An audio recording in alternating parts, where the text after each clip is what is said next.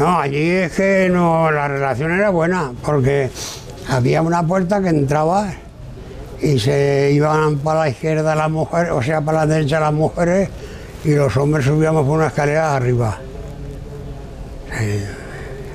Pero después ya cuando empezaron que también con la esto de que había que dar una comida a los obreros, era el de San Crispín y todo eso, también. Luego lo juntaban todas las mujeres y los hombres, bailábamos esto y hacíamos todo lo que...